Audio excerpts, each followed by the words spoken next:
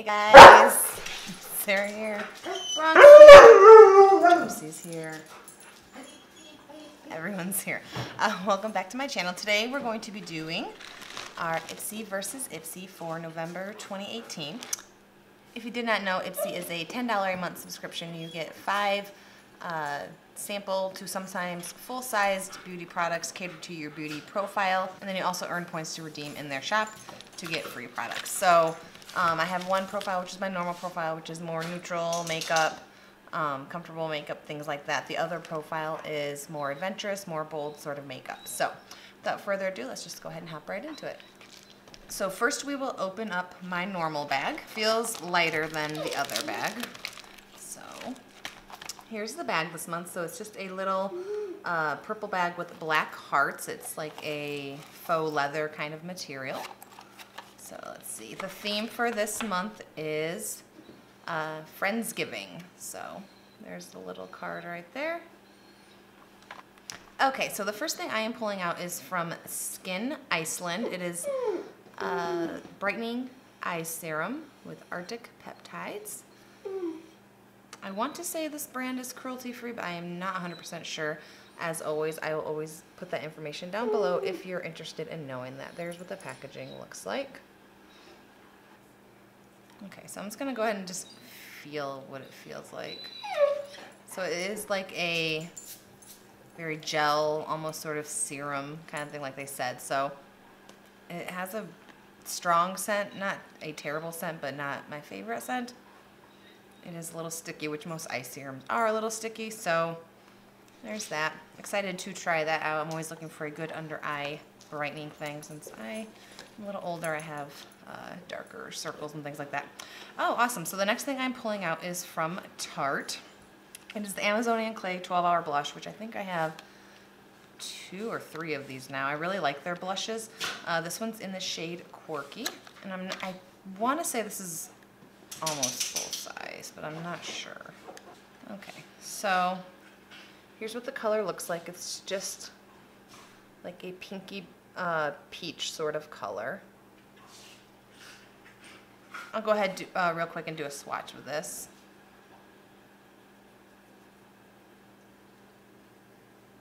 It's very, very light. I might have to uh, double up on it. I'm not sure if you're going to be able to see this on my hand.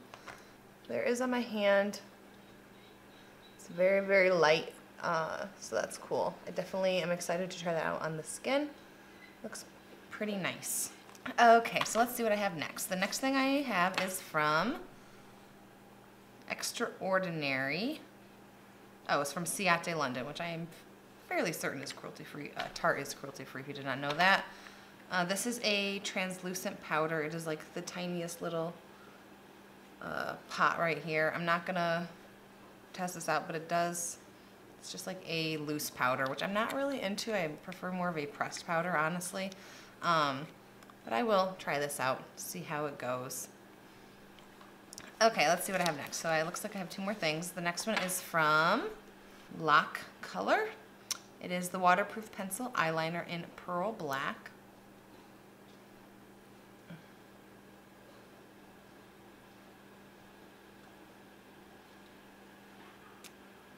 So it's got the little thing on the bottom here that you can uh, use to push it up. You don't have to sharpen it. Okay, so this is a black liner and it has glitter in it. So if you are into that, not sure if this is going to pick up on the glitter, but it's probably not something I would wear every day, but it'd probably be good for like the evening. So excited to try this out. I'm not sure if this brand is cruelty free. I've actually never heard of this brand, so we will see. Okay, one more thing.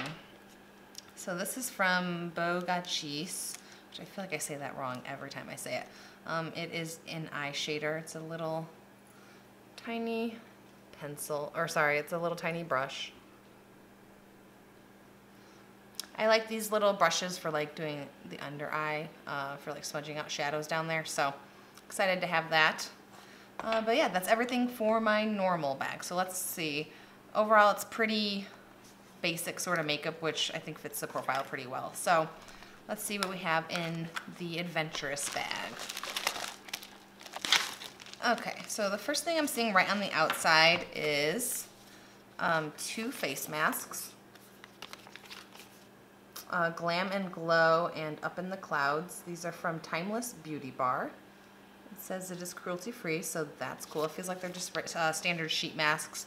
Um, this one is Radiance Boosting Even Skin Tone and Energizing. That's the Glam and Glow. And then the Up in the Clouds Intensely Hydrating, Rejuvenating, Plumping, Nourishing. So I always like doing a sheet mask, so I will definitely try these out. Okay, let's see. The bag is the same. Let's see what we have inside. So the first thing I'm pulling out is from NYX. It is a Velvet Matte Lipstick in the shade Volcano. NYX is cruelty free, so I will go ahead and swatch this. Just looking at it, looks like a, like a red color, like a deep red. Let's see. There it is.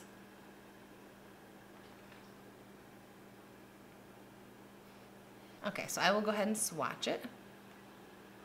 Oh, I really like the color. So it's like a very nice cream lipstick.